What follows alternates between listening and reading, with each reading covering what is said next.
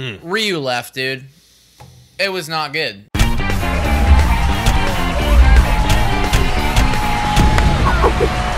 Hello, everybody, and welcome to Blue Jays Today, where we always have something to say about the Blue Jays. I'm your host, Nicholas Playlog. And I am your host, Adam Peddle, and today, guys, we're going to be breaking down the last week in baseball, and especially your Toronto Blue Jays. But before we get into all the news, please make sure to subscribe, like, comment. We ask it every time, but if you subscribe, it makes us, it makes our job a lot easier. It makes Yeah. it a lot more supportive. yeah, yeah, and as well, guys, this video is brought to you by Manscaped. Mm-hmm. 20% off when you use today Jays as the code, as well as free shipping. So if you're looking to trim down there, it's been a long, long, long lockdown for those in Ontario.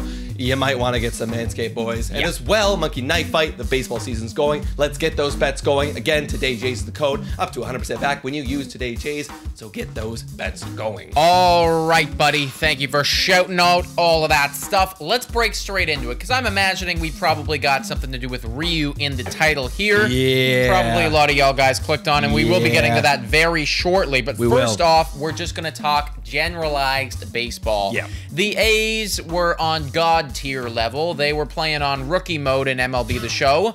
Um, we know all about MLB The Show now. Yeah. We have it, and we've been playing it. It's lots of fun. we It's coming, suck. boys. We were a little bit bad. We're, we're- it's coming. But uh, but they did they did drop their first game to the uh, Baltimore Orioles today, uh, which is Sunday. Uh, John Means pitched a really nice game, uh, but still, I mean, 13 wins. 13 That's wins. a lot of wins. Anyone get any flashbacks from 20 or 2002? Anyone? Anyone? Oakland Athletics flashbacks? I did a little bit, but it stopped at 13. So good for them. This was shocking. They're well, I'm not shocked that they're first place because you go on a 13 game win streak this early. Of course you're going to be first place. But the guys in second are Seattle, 13 and 9.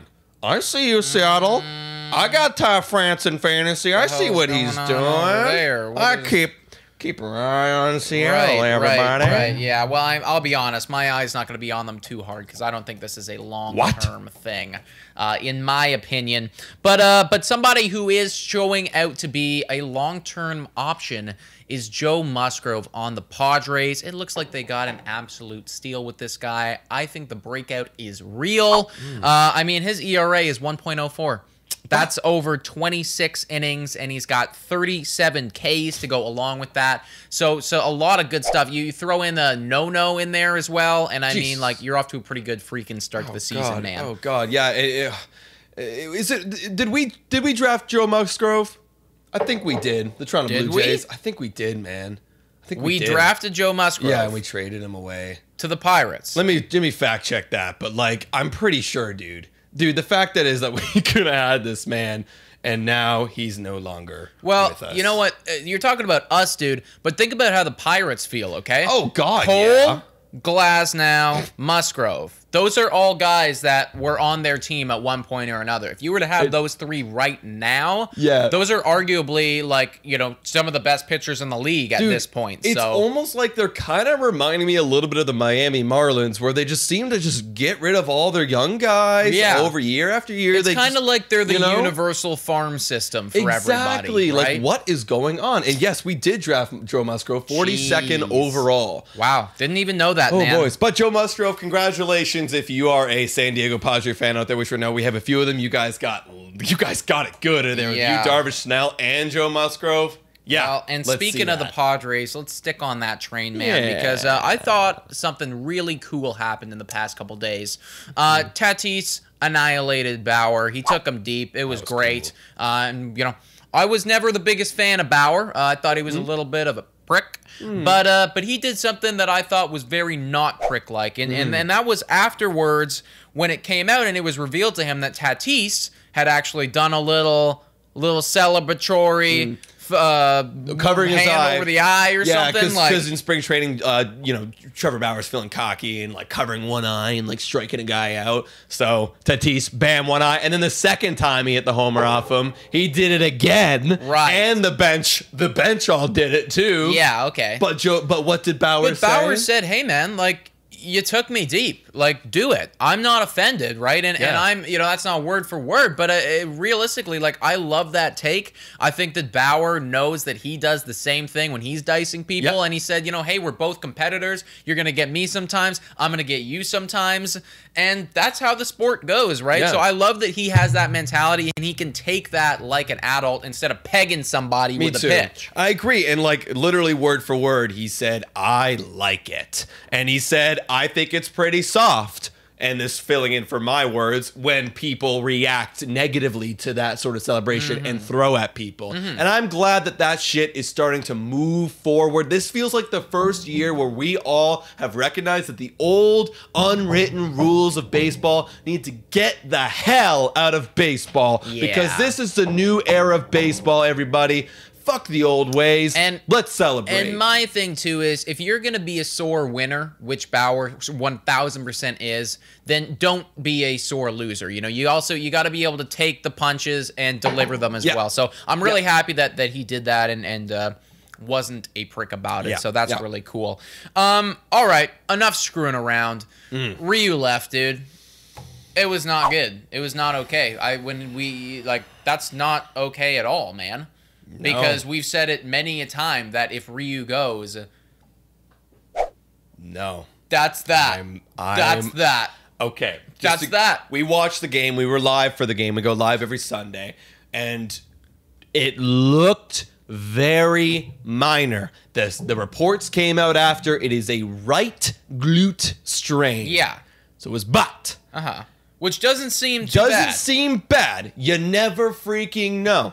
They might and they will. If it is a lot worse, they're going to play it down. Yeah. They're going to go, oh, we're just going to skip a start, see how he's feeling. Oh, looks like he's getting a lot, a little feeling not good. We're going to push it back another week and another Uh-huh. week. But point being, let's we're looking we're talking about the hypothetical what if scenario what if Ryu is down yeah, yeah. for a okay, long and, time and and you know what? I I don't want to you know be on this for too long. No, no, no. Scares the fuck out of me. Yeah, right, But but uh, but I also do talk- want a, a positive thing is Okay. how many times do you hear somebody going out for like a torn ACL or something like that? Like a fair bit. a fair bit an I don't know ACL, if I have ever heard anybody go out for a torn ass. So yes, I You know? And it, let's be honest, like I, I, I got when I run, my ass hurts the next day. It just does. yeah, I think I ass think he pulled something. I think it'll be okay. Yeah, But on the but- off chance that it's not, yeah.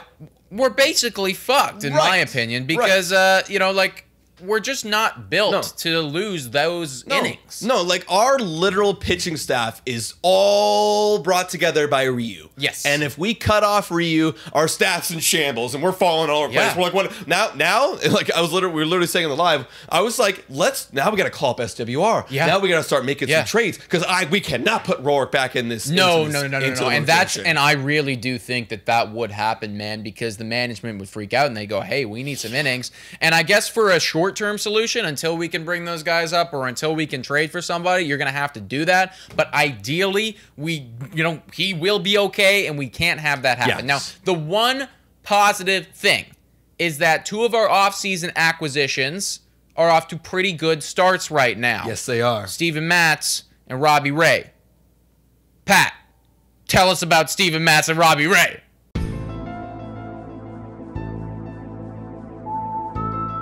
Guys, I'll tell you about Stephen Matz and Robbie Ray. Can I just say how refreshing it is to finally have not one, but two guys behind Hyun-Jin Ryu that can actually pitch and not just be solid, but be extremely effective, actually. And I know we can talk small sample size. Matz has only had four starts, Ray's only had three. But this has been carrying over from a really good spring training for both of these guys, and I'm excited to see what these guys can do over the course of a full season. Steven Matz is currently pitching at an ERA of 2.3, and Robbie Ray is currently at an ERA of 2.6. So this isn't just good numbers; these are really good numbers. These are Hyun-Jin Ryu numbers. So let's talk about what's made these guys so much more successful last year and really reach the potential that the Jays thought they had when they brought them in in trades last year. So starting with Robbie Ray, for him, it's been all about his four-seam fastball. He threw 94 pitches in his last outing, 68 of them were fastballs. That's a ridiculous amount. And he's been extremely effective with it, causing 18 swinging strikes, 11 of them where they aren't even making contact, period. His velocity was topping out at about 98 and a half, which is great considering we don't have a lot of our other flamethrowers in the lineup right now. Nate Pearson just had his first, I think, alternate site outing. Wasn't amazing. He's probably going to be slowly coming along. So to have Robbie Ray fill a big hole there is fantastic. This is exactly what we want to see from a guy who's brought in to be this flamethrower to get a lot of strikeouts. Steven Matz, on the other hand, has been completely different. He's been all about the command and control. He has seen a slight uptick in his fastball velocity. He's averaging around 95 miles per hour, where he used to be around 93. But more importantly, he's getting really weak contact. For Steven Matz, it's all about the ground ball rate. Last year, he was measly 36.4%. Horrible. This year, he got that all the way up to 46.7%, which is much, much more in line with what we want to see from Steven Matz. So relying less on the fastball, he's throwing more changeup this year, and what makes a good fastball is a good changeup. So if Steven Matz can carry this further as well and be the number two guy, Robbie Ray can slot into the number three, maybe we'll do okay if Ryu actually has to miss some time. Fingers crossed that he doesn't, but it's good to know that we have a couple of guys who can pick up the slack if worse comes to worse.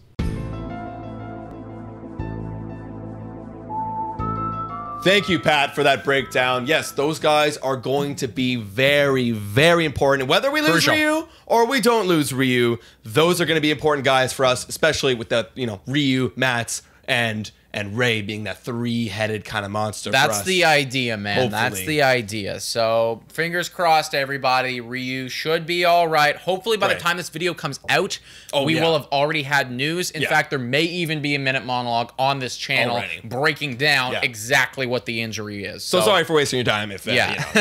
you, know, you that. Um, all right, man. So uh, I guess that's kind of the Ryu news. Mm-hmm. Let's talk this week, this past week that has happened. We went three and two.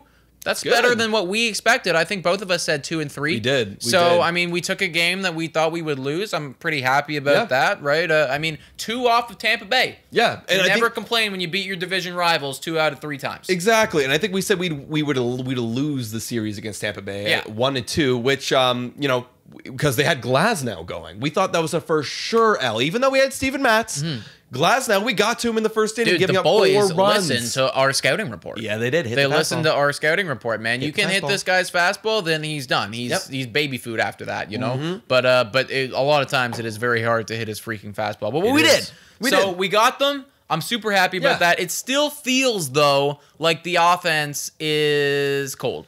It does. It doesn't feel consistent. It feels still. I mean, Vlad did cool off, but it still felt like the Vlad, Bo, and Grichuk show. You know what I Right, mean? yeah. And uh, Semien actually had a good week this week. I believe he hit around 350. So Semien. Okay. And, and the things to note is the reason why, you know, after we moved Biggio to the top part and Semien back down, I think that gave a lot, took a lot of pressure off Semien's shoulders. You don't Uh-huh. have to be the man leading this team. Well, I'll be honest, you dude. know? Like his whole approach wasn't striking me as lead off guy. Right. You know, like we weren't. Right. I didn't find that he was like taking pitches or No. doing his scouting report for the team. It looked like he wanted to get up there and smack, and like Yeah. that's totally cool, dude. But if you uh, can smack. if you can smack, you know, and it's like I, I think that George Springer is a bit of a tier ahead, Exactly. in smacking capabilities, Exactly. than uh, than Semien. Yeah, so. I I love Semien in that five six spot. You know, hell, even seven depends if Tio gets back and some other people get hot. But Yeah. I love Semien down there because why? You know, it kind of acts like a tiny leadoff man for that back half of the of the lineup. You know, think about if we have a full healthy lineup, who would be hitting behind Semien? It's gonna be like Rowdy. maybe Rowdy, maybe Kirk. Rowdy kind of is batting in that cleanup spot. Maybe Gurriel, you know? Potentially. Potentially. Depends, on how who's getting hot. But either way, he's got five stolen bases this year. Yeah, I mean, So- he's definitely doing that, man. He's providing the power and he is uh, stealing some bases. So I do like to see that. Although, uh, like, speaking on, like, Bo and stuff, like, he had a rough Tampa Bay series. Like, I think he went, like, 0 for 12 or something. Yeah, he did, he did. Um, and I mean, Vlad, like, still getting a little bit cool. A little Um, cooled off. Still got his walks and two, three, uh, three hits, I believe. Yeah, I Um, felt like what really uh, what's carrying this team right now, shockingly, is the fact that we have the number one ERA in the AL. Yeah. The number one ERA Who- in the AL. Who would have freaking thought? Not me, dude. There's no freaking way. And that's all like all pitching, right? I believe that is the case. That's yes. incredible. And I know our bullpen's really up there too as well, but that's incredible. So, Yeah. you know what? We're, we're here talking about like, oh, if, Ryu gets cut off, we're in shambles now. But it's like, no, a lot of guys are contributing. Our bullpen is contributing. So Somehow they're getting it done. they're getting it done. Is that going to stay? I don't think so. Yeah, that's Um, kind of where it comes down You know, to. let's look. be honest, it's not going to stay there, but you know, hey, if it falls back down and maybe we're fifth, that's great. But the bat's got to get going. That's got to be our strength. Well, one good thing, One good thing. is uh, is the bats should be getting some reinforcements. I don't want to delve or delve wanna into dive this into too long because we're going to make a whole podcast on this. But To should be back this week, Mm-hmm. we hope. And George Springer, the first time that we get to see this man. People are Yes. saying potentially Tuesday. Maybe that would be freaking awesome. Oh maybe gosh, Tuesday, maybe. Tuesday. You know. Um, so uh, we're definitely going to need to be like talking about that and everything. But uh, that would be massive for Mm-hmm. Yeah, this squad. right agreed. but one outfielder that is earned his spot to stay in that starting lineup that many thought maybe would be squeezed out, and that is our J of the week. All right, everybody. So the great and most prestigious honor of J of the Week is presented to Randall the Handle Grichuk. Excellent work this week, Randall. You were great in the outfield. You made some solid plays, and you delivered the bops. Atta baby. Three homers, right? Three homers. A lot of freaking homers. What's most impressive of me? Yeah, three homers is huge. He also got three walks. Okay. That's good for Randall. Hell yeah. Six RBIs, four runs scored. And let me break you down his slash line a little bit here. A 315 batting average, a 409 on base percentage, 789 slugging, and an OPS of 1.198. That'll do. That'll That do, buddy. So do. yeah, honestly, Yeah. you know, I know we said Bo Vlad Grichuk story. It was kind of, kind of felt like this was the Grichuk This, week. this you know? is the Grichuk week. And Yeah. like Grichuk's been hot. He kind of cooled off a little bit last week, but the first two weeks were really, really good for Randall. I'm glad to see that he didn't just continue because we were getting a little bit worried that Yeah. maybe Randall would start going back to Randall. Well, like we've we, seen the yeah, story. I mean, like Randall is kind of like a roller coaster Yeah. ride. There are peaks, there are valleys. You don't know if he's hot or if he's cold sometimes because it's all over the place. Yeah. But right now, to start this year through uh, a little bit more than 20 games, Yeah. he has been 100% rock solid wherever, you know, defensively and I'm, offensively. I'm So- very impressed with Randall because not only like he's, he said he's been playing with a chip on his shoulder this entire season. Like one, he knows. He knows he's not he's not a, he's not immune to the conversation of like, hey, before pre like before the season, maybe I get shipped off to another team. Am I gonna be playing the bench? He's earned his spot to play in the lineup every single day. Yeah, dude. I'm Yeah. not taking this guy out at Hell all. no, man. Like, and and we even put him into that fourth spot, and we've seen before when Randall gets moved into a spot where you need to be clutch, where people are relying on you. Typically, that's when I start to see him screw up, Right. and start swinging at garbage. And that Yeah. hasn't happened here. He's No. been very patient, and those walks are great to see. So, Congratulations. excellent Randall. work, Randall Grichuk. Keep it freaking up. Congratulations. Let's look at the next week, buddy. We got some harsh competitors, and uh, I was looking at the do. schedule following this week too. It's not getting any easier. We are dealing with a lot of tough customers. One of them being Washington. Uh, I think it's confirmed that we will be facing off against Mad Max, Yeah. a potential trade target. He's gonna see us and go, oh my god, he's so good. Yeah, that's the thing. We got to smack him around first. Yeah, he's like, damn, we got to deliver the one-two punch. Me? I don't want to face these. guys. Exactly, exactly. So we will be Yeah. seeing them, and we'll also be seeing the Atlanta Braves. Uh, I mean, they're like, ta- like Acuna, not Tatis, uh, the other one, Mm. The other really Acuna is incredible right now. I mean, like he's definitely got to be in the way too early MVP conversation. Like he's just looks like a madman at Yeah, the he plate. did, so yeah, absolutely. I mean, it's going to be a tough fight. It's going to be a tough road this week. It is. What are you kind of projecting here for the boys? boys? I'm gonna do the exact same projection as I did last week. Me too. Me too. We're gonna go two and three. Me too. We're gonna take one against the Washington Nationals, not the one where we face Scherzer, No, because not we have a question mark versus Scherzer. So that's an L. Yeah. But we do know we have Steven Matz versus I'm gonna I guess it's Fedde. Fedde. Uh, he has a five plus ERA, and Matz is stellar, so we're definitely gonna take that one Okay. from Yeah, Washington. for sure. I, I agree with you, man. Yeah, and then Atlanta series, they haven't announced their rotation, but based on what they've been doing, the way they've been laying out the rotation this last week, I'm going to project it's going to be Smyly, Morton, and Ian Anderson. Hmm. So, and we, all I know is I could speculate is that we're going to have Ray, and we don't know if we're going to have Well, Ryu. that's the thing, so- dude. We're not gonna have Matz, and I like again. We don't We know about no anything idea. to do with Ryu. There's a lot of off days in between here, but Mm-hmm. it's also like they like to be very cautious with this man, so it's very possible that we don't have him. Mm-hmm. So then we're looking at Ray. Probably a bullpen, Bullpen day, day. and then I don't know. I don't know. I actually have no Stripling, idea. We might. Roark, we no might, idea. We might get. It, it might honestly be a Roark. Honestly, Could be, dude. Like we're just we're, they're forcing our hand. Injuries are forcing our hand Yeah. right now. You know, it's, Agreed.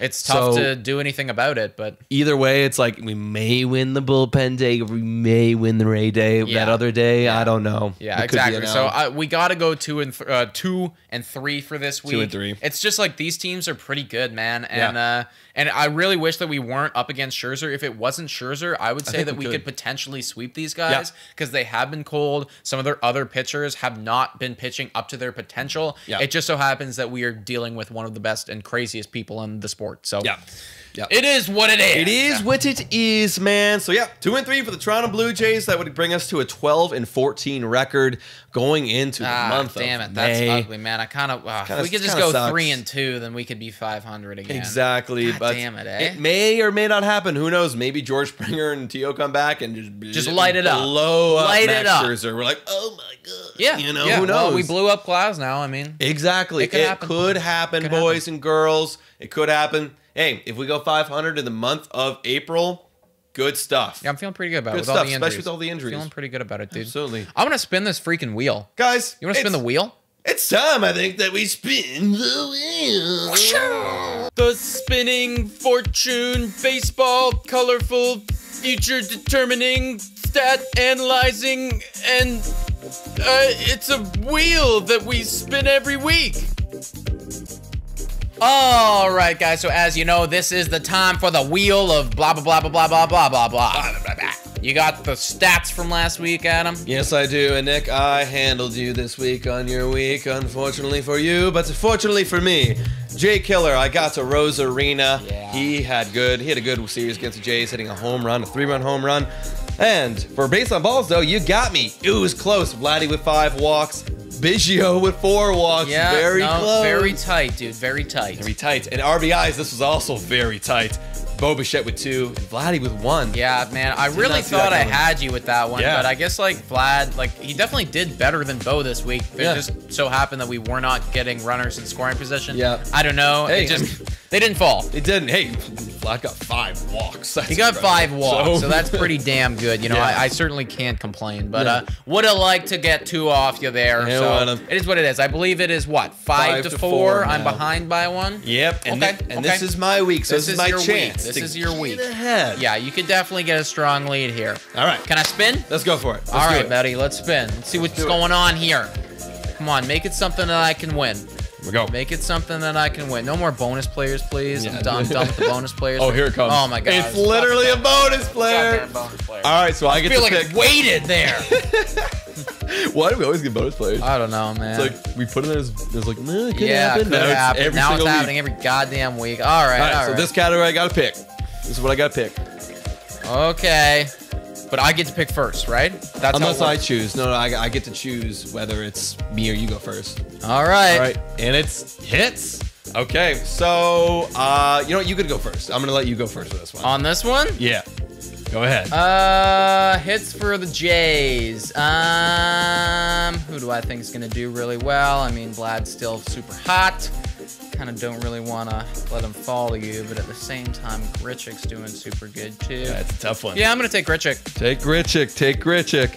All right, so then in that case, Semien's starting to heat up in that six hole, but like, I can't trust him.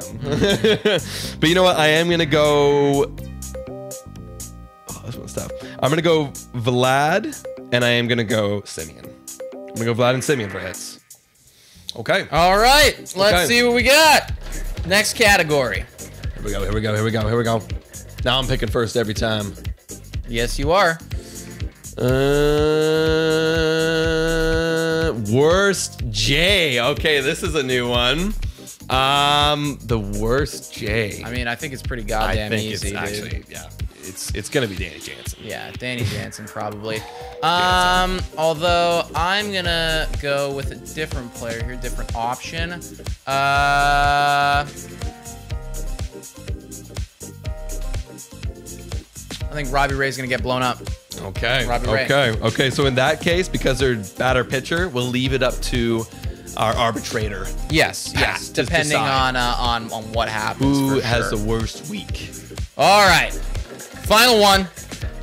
What do we got? Final don't. What do we have?